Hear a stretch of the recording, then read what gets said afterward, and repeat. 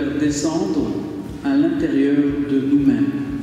Souvent, nous avons un rapport à la parole de Dieu, celle de l'Évangile, celle de la Bible, souvent extérieure.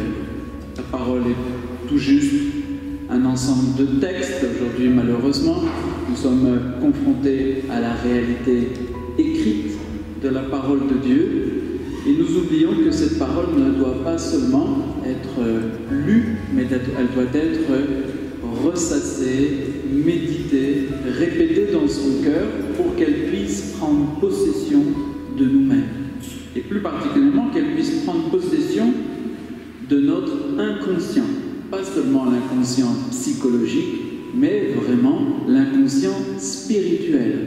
Car grâce à Dieu, l'esprit en nous est beaucoup plus large que ce que nous pouvons concevoir et comprendre à partir de notre raison. Bien sûr, ce faisant, nous usons de notre intelligence consciente pour nous ouvrir à ce qui est plus grand que nous et qui est l'action de l'Esprit Saint. On est tous euh, suffisamment rapprochés parce que comme on fait ça euh, de manière simple, on le fait à la, façon que j'utilise avec les enfants. Normalement, euh, je devrais vous instruire pour vous conduire à la manière plus adulte d'expérimenter l'oral. عادة نتلو كلمة إنجيل الأحد المقبل لأن على أساس نحن نستعدد نتعدد على احتفال الأحد المقبل.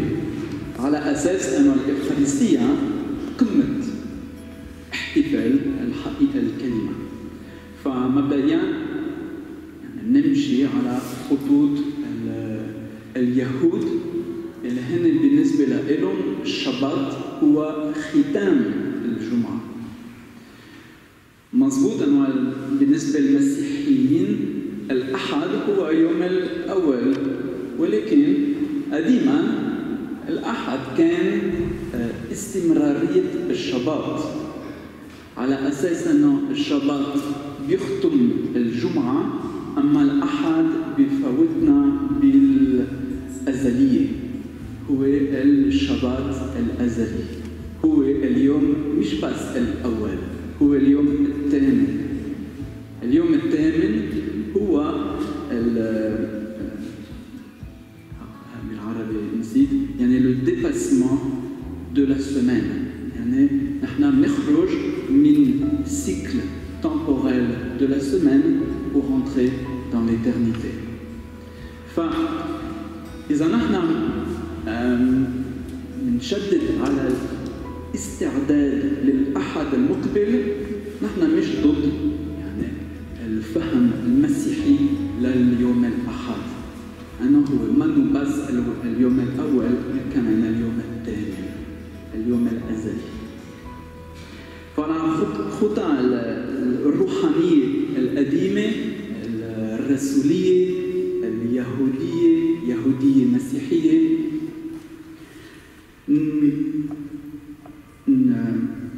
نتعلم الإنجيل نذكره ونأكله من لعسه من من خليه بيتمنا حتى بيعطي كل طعمه على مدى سبعة أيام. أنا شخصيا بتلو الإنجيل كل يوم.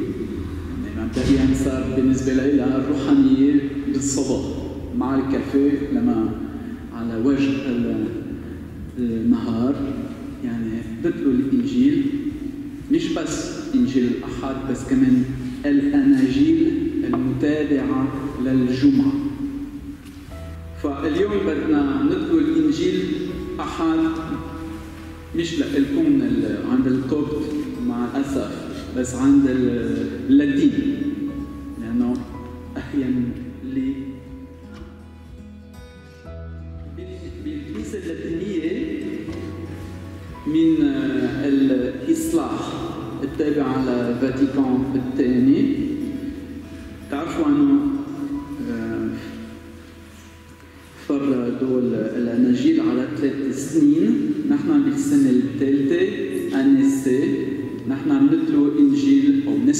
إنجيل لوقا.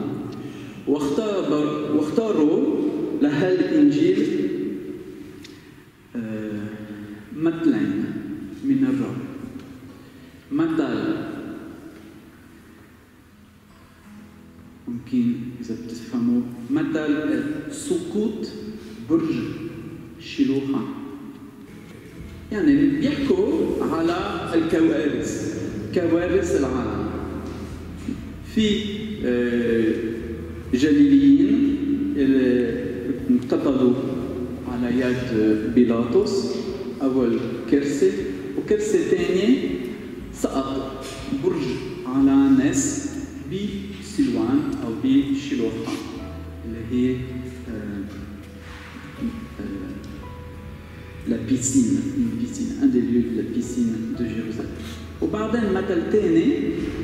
عن التينة اللي ما بيعطي ثمار.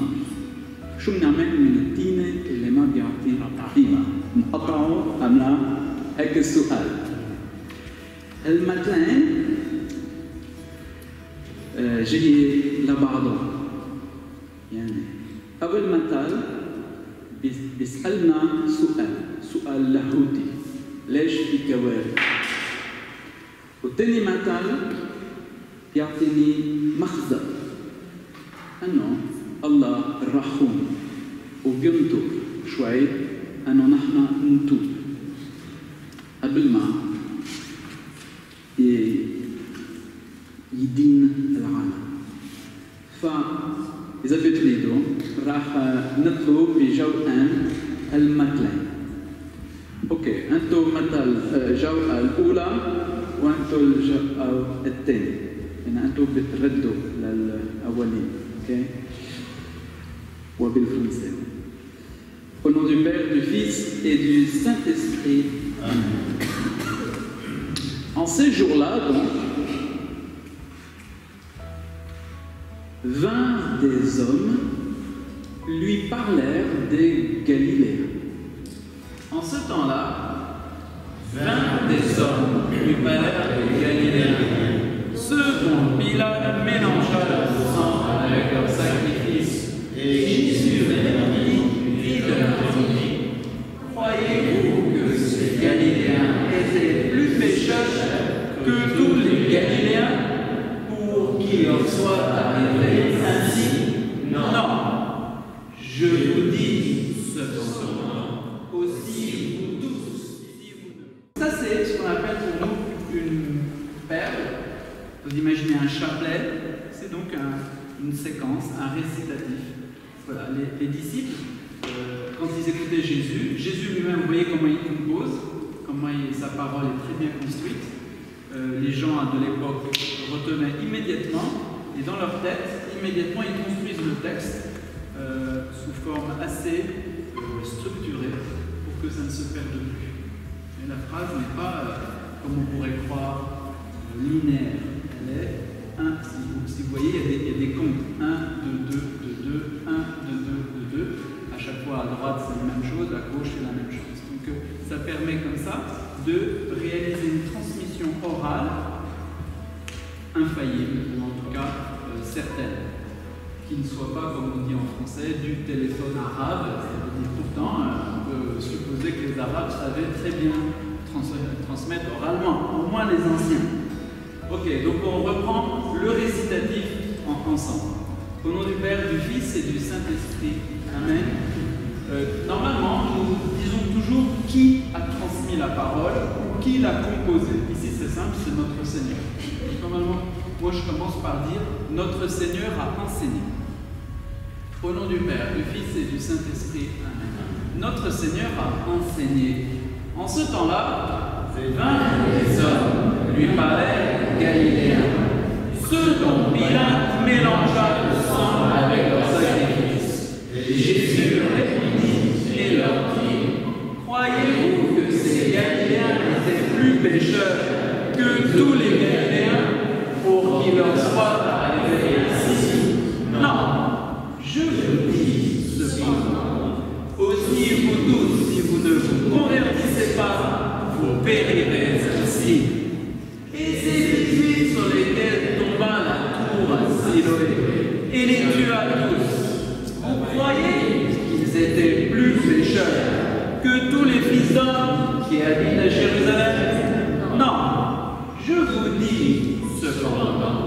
Si vous ne vous convertissez pas, vous tous, vous périrez ainsi que. C'est donc maintenant un deuxième petit euh, proverbe, matal, parabole en français. Le, le, le figuier s'enfuit. Et il leur dit ce proverbe de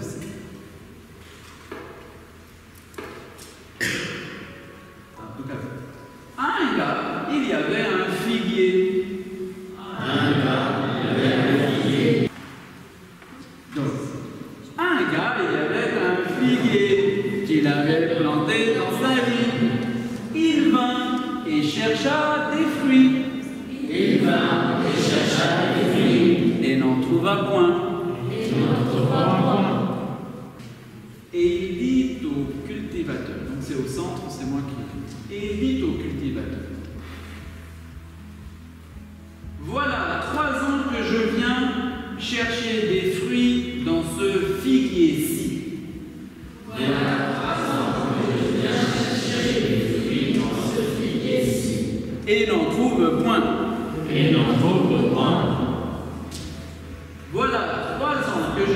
cherchez des fruits dans ce figue ici, et n'en trouve point.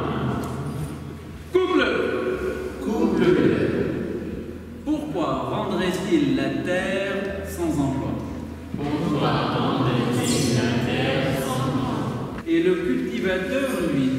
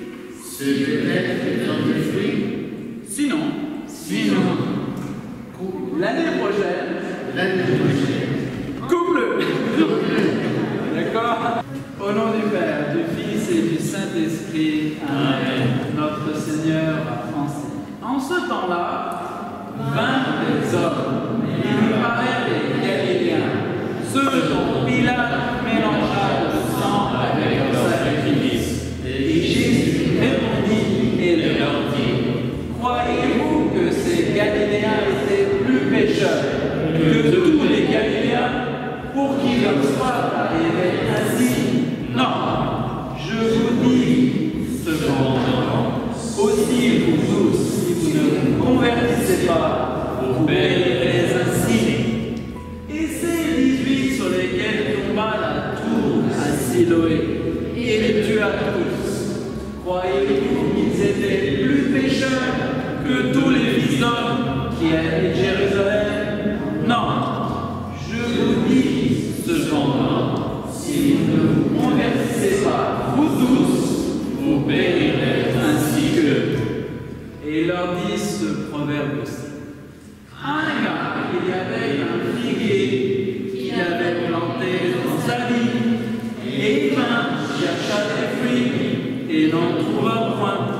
Et il dit au cultivateur,